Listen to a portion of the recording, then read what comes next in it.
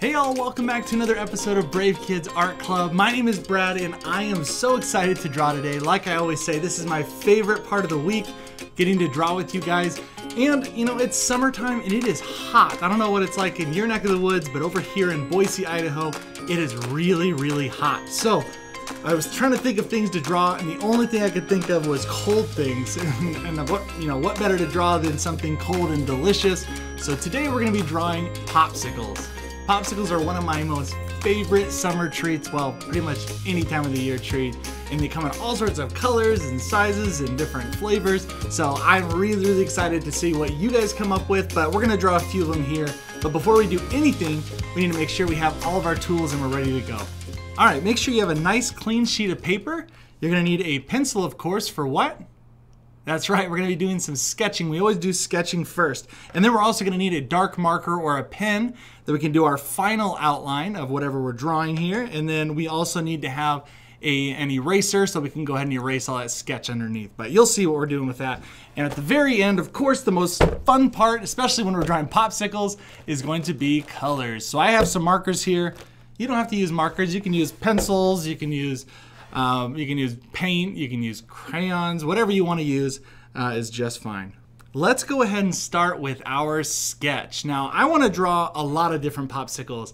I think it's kind of, you know, it can be fun to draw one popsicle, but there's so many different kinds and I kind of wanted to draw some of my favorites. So go ahead and draw as many of these as you want, but we're going to go through a few different because they come in all different shapes and sizes and I think it'd be kind of fun to put a few on here. So we're going to start off with, uh, let's do kind of the, the traditional popsicle that you're used to seeing.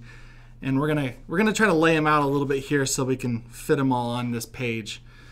I'm going to start with, kind of start with like a, a rectangle shape. And draw real lightly when you're sketching. You don't need to draw too hard because later on we're going to go over this with a, with a pen or a marker and then you're going to want to erase all that sketch underneath. So you don't have to be don't fall too in love with your, your pencil marks. There we go. So you can draw that little curve on the top. Now, if you want, if it's easier, you can just draw a full circle through here. And then we can just go through and erase this. So sometimes it's easier to draw a full circle than a half circle. I don't know why that is. I think it's just how your, your arm moves. It feels strange doing a half a circle. So if it's all one motion, it makes it easier. So we'll do that. And then let's kind of cut off the, end. maybe I want this a little bit shorter. So I'll go through and erase that.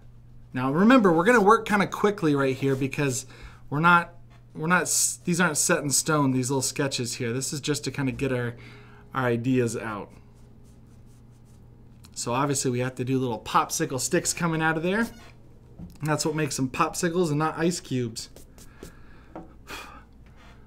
All right, so let's do another shape. What other shape popsicles are there? What's your favorite type of popsicle? So don't be feeling like you have to stick with just these ones. Feel if you have other ones that you like, go ahead and draw those as well. I'm just gonna draw a few of my favorites. So I think maybe the single popsicle where it's like the long skinny one. That one's another pretty popular one. Let's do that one next. So that's another rectangle. It's gonna be a little bit thinner, obviously. Kind of looks like we're drawing a hot dog. At the top, we're going to draw a circle. Kind of rounds off the edge there. And then quickly, we can just go through and erase that. I like to erase my lines as I'm going because if I don't, sometimes I forget which parts I need to erase when I'm going over it with, uh, with my marker here. And then I start coloring in lines with the marker that I can't erase. And that makes it a little frustrating. So that's why we do as much as we can here with our pencils Get all the mistakes out now. It's a good time to do it. Okay, so I'm doing the same thing. I'm rounding off the ends of my popsicle sticks because if obviously we've seen popsicle sticks, they're rounded, not just squared off at the end. So that's looking pretty good. Okay, so now it's on to our third popsicle. But while we're drawing it, I'm going to tell you a little bit about the history of popsicles because they were discovered by a kid. And how cool is that? A kid discovered popsicles, but that kind of seems fitting, doesn't it? Okay, so let's start first with the shape here. Uh, there's a popsicle that I liked growing up. It was called like a rocket popsicle. I think it was called a rocket pop. Rocket pop? Maybe. We'll see. Uh, regardless, it was a really cool one. It was red, white, and blue, and it was super delicious. So I'm going to go ahead and start drawing that one. But just so you know about that kid, his name was Frank Epperson. And he, one night, he was stirring up his, uh, he was stirring up some soda powder and water, and he left it in a, he left it in a bucket there or in the cup with the stirring stick. And overnight, it was a really cold night and it froze. So when he got up in the morning, he discovered popsicles. Now they weren't called popsicles then, and he didn't really know what to do with it right away. But he figured out that he could sell them to his friends or a tasty treat, and he called them Epperson icicles. And I was like, that's a pretty cool name. It wasn't until he was older that he decided to call them popsicles, and that's how we know them today. That's pretty crazy. That's kind of cool that a kid discovered popsicles. I feel like that is just so fitting. Okay, so you see in this shape, it's a little bit unique. Doesn't really look like too much like a rocket, but I don't think it really mattered. It tasted so good, we didn't care. But there you go. It goes like that. And then when we start coloring these, you're going to start seeing uh, a little bit more. We'll add a few more details in here because some of these had little dents in them and some of them had stripes and they look a lot cooler once we add all those details. So this will just be the outline of our our pop our uh, popsicle there, a little Astropop. And this other one's actually really neat because during the Depression, when it was a really, really hard time here in America, people didn't have very much money at all, and there's a lot, a lot of poor folks. The popsicle, the double popsicle, was created. I don't know if you've seen them; they're not as popular anymore. But this is how we're gonna draw. We're gonna kind of draw a, uh, a rectangle shape here, and then it's gonna have two little bumps on the top, right here, like two little hills on the top, because this was actually this popsicle right here just merged together. So they'd made it because kids couldn't really afford a lot. So if they if they sold these popsicles, they could share them. They could break them in half and share them with their friends. It's a pretty cool idea, huh? I feel like that's kind of a a neat backstory for these funky looking popsicles that we always wondered why you had the two on there. I mean, maybe sometimes you shared with your your friends, but a lot of times you just ate them by yourself. But it's kind of cool that that's what they were made for to, to share, kind of like a Kit Kat bar. Okay, I think these are looking pretty good. Well, we're getting close. I think we have room for one more up here. And this is another one of my favorites. It was uh, it was like a cherry, I think it was a cherry pineapple flavor. I don't even know the name of the popsicle, but it was a really thick popsicle, and it was it was always the biggest one, and that's why everybody I think we liked that one so much. They came into they're really really long, and they're flat on the top, and they can have three different little layers here. And uh, we'll do that with the color. But there again we'll add that that stick at the bottom. And there we go. It's looking really good. We got all the little popsicles in there. I'm excited to see what popsicles you chose. And if you chose these ones we're gonna have a lot of fun with the colors because uh, these kind of came in all sorts of colors and they had stripes and so i think the next part that we want to do is go through and just outline now i didn't put anything over here. Maybe we'll put our signature over there, kind of fill in that space. But right now we're going to go through and just outline, go over our sketches so that we have something to color in. I like to think of it as making my own little coloring book for myself.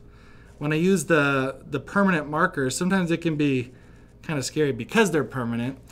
Uh, and sometimes your parents may not appreciate it that you're using permanent markers. So if you do, make sure you let your parents know that you're using permanent markers. But also, I have another sheet of paper under here just because it bleeds through. If you can see at the bottom, it starts to bleed through.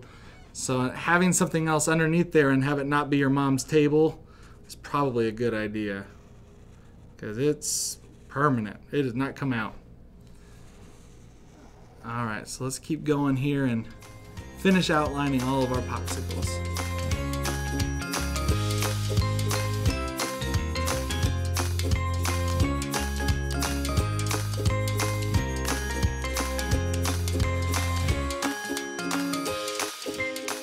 All right, so now that we have them all outlined, we can go through and erase. That's why I brought that eraser out. I usually like to get a bigger eraser so I can erase all of those sketch marks underneath there.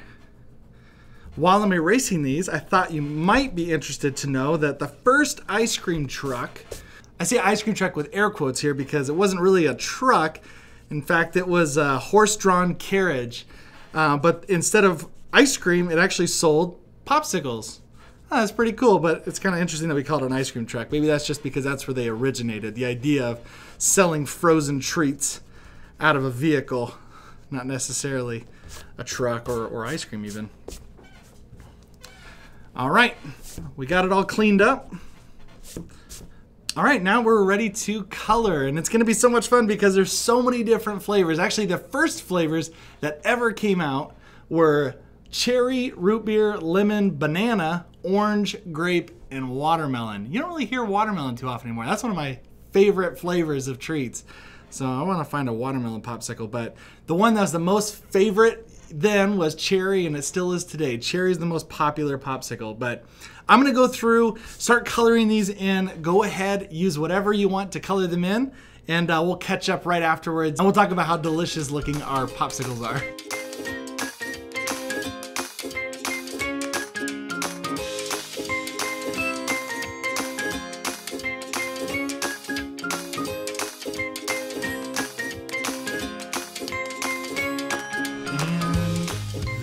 We have it. Our popsicles are finished. We just finished coloring in the popsicle sticks, and it's official. These turned out so fun. Now, I think you could add a lot more to this illustration if you wanted to. You can add either more popsicles, you can add fun little like stars and things. Maybe this is a 4th of July theme popsicle illustration. You have fireworks behind it. There's a lot of fun things you can do from here. So at this point though, I'll let you go ahead and take it where you want to go with it. And uh, hopefully you had a ton of fun coloring it in. I know I sure had a lot of fun. So thank you guys for showing up and doing this with me. And uh, of course, before we finish, we always, or I guess after we're finished illustrating, we always need to sign our work. You're proud of what you made, so you need to make sure you let everybody know by putting your initials, your name there at the bottom, and it can be officially completed. Well, I hope you guys are enjoying your summer. Thank you guys so much for watching today. I know you're taking a little bit of your outside time, but maybe this is just a time to cool off and draw some fun popsicles and maybe go have a popsicle afterwards. Who knows? Make sure you also check out our website. We now have a brand new website at bravekidsartclub.com. I know some of your parents would like to watch this outside of YouTube. So if you go to our website, you can see on there, you can watch all the different videos in the website so you don't have any of the ads or anything else like that. And there's an art wall so we get to see your work. So please make sure after you're done, have your parents take a photo of your artwork and send it to me. You can do that on Instagram or you can email us.